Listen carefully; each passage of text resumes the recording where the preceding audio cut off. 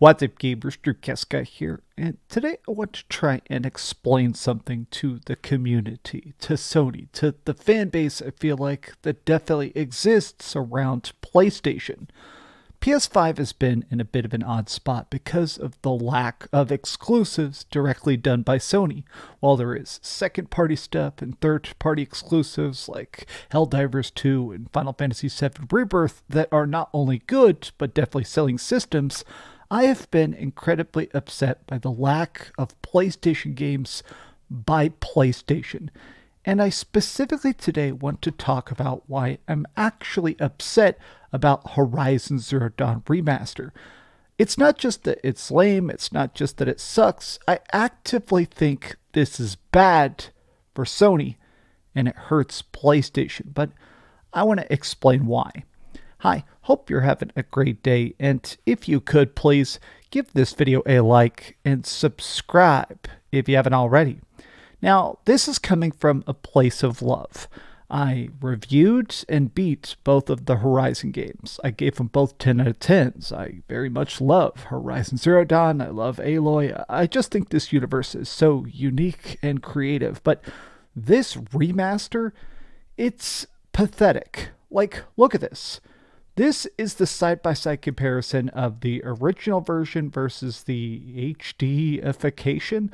Now, keep in mind, Horizon is already 4K 60 FPS on PS5. The original version, the base terrible version, is, in my opinion, pretty much identical. And a lot of people are already backing on this. A lot of these comparisons, people are saying that this looks, if anything, the more realistic art of it is almost distracting. I've seen some people say that this looks like a person wearing a costume in a negative sense. In fact, I looked and saw uh, a lot of the trailers from the state of play are uh, getting dislike bombed to hell, but one of them is the trailer for Horizon Zero Dawn Remaster has 28,000 dislikes. I mean, people are pissed. And I think it's partially just because this is such a tiny upgrade and it wasn't just done automatically. This is not the original assets being rendered at a higher scale. They've now done a couple interviews that there is a big staff that is working on this. There is a huge team of Sony employees that is currently actually developing this, making it so that not only does it have better lighting and better resolution and stuff like that, they actually re-recorded lines, they re-mocap stuff. This is a major project being done by PlayStation, and I think a lot of people are annoyed because this feels so wasteful. Like these side by side comparisons, in my opinion, they're barely noticeable. At best, like maybe they're slightly better, but in a lot of these cases, they look identical. Or, or if there is a difference, it's a difference in art style more than like fidelity. Uh, this is the studio art director at Guerrilla Games who's been working on the project, and he says, We brought over Aloy's model from Forbidden West. We've also reworked the character lighting to match the look of Horizon Forbidden West, which undoubtedly is a good looking game. We've improved skin tones, hair shaders are improved. The slight blurring you see between the PS4 and PS5 screenshots is because the PS4 image has motion blur turned off, so this version will be even more crisp. But I gotta admit, this in a lot of these cases, it almost feels like a downgrade. This right here, the remastered version may be more realistic, but this is more stylized. This blue on red looks better in the original. This stark shadows coming through this mist here, these sunbeams. This objectively looks better even if this is more realistic, more lit. The fires would not be shooting out this red glow, but I'm also in real life not going to be seeing a giant robot octopus that's destroying the world, you know? This doesn't have to be realistic, it has to be good. I was talking to some friends last night. We were in like a voice call and we were talking about the Horizon remaster, and a lot of them predominantly play on PC, and they were saying, are you going to buy it? Are you going to review it? You love this series. Are you going to go back? A lot of them were also saying that this feels extra weird because they released Horizon Zero Dawn on PC not too long ago and it already looks good and plays good. So even they who had played it for the first time recently were saying, What is the point of this project? And they started to say, what other games deserve this more? A lot of my anger really does stem from the fact that this is budget, this is time, this is actual focus by developers that could have been better spent doing something like, I don't know, remastering Infamous, or if, even if we're talking like Guerrilla Games, let's make a Killzone collection, or a Resistance collection, or an Uncharted collection, like a remake of Uncharted 1. I've seen people talk about how they'd like to get the old God of War games, which I've talked about. I'm personally not the biggest fan of the old God of War games, but why can't we play those? Why are those just gone? You have to stream them from the PlayStation 3 version to your PlayStation 5. Like, actually make games that are inaccessible for the PS5. Like that's the weirdest part about this is this game already works on this. It's already a PS4 game that looks good and it already looks better on PS5. I can't believe the amount of budget they're spending on this. And, a lot of Bloodborne fans are just talking about how it, feels like it's bizarre that something like Bloodborne, if they even put in a little bit of work, if they ported this to PC, if they even came out with a 60 FPS patch, like anything Bloodborne would be trending for days on every social media. Every single YouTuber would make videos shooting thick, milky ropes of hype. Like, the fact that they are just completely ignoring everything that honestly would probably make more money, but it's not as safe of a bet. I am annoyed about Horizon Zero Dawn Remaster because even as a person that loves Horizon Zero Dawn, even as a person who's played so many hours of that game, a person who has admittedly, I openly wept, I cried my freaking eyes out at the ending of Horizon Zero Dawn. I, I think the game is is absolutely beautiful, but it's already beautiful.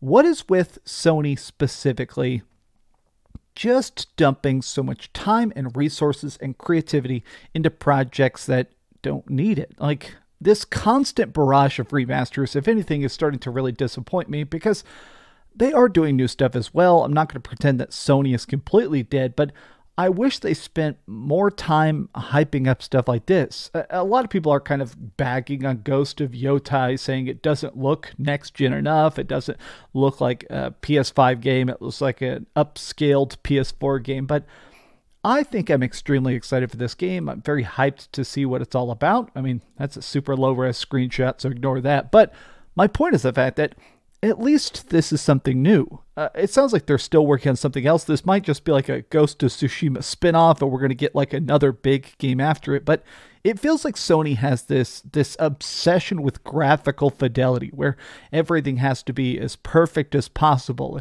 as realistic as possible. I, I even see stuff like this today. They tweeted out more stuff about the PS5 Pro, saying, "Oh, check it out how good these games are going to look." Oh, wait, a lot of these are freaking games that also run on the PlayStation 4. Uh, right here, Pio replied, Three of these games are on PS4. Horizon Forbidden West is on PS4. Last of Us is, of course, made for the PS4 and remastered. Gran Turismo was on the PlayStation 4.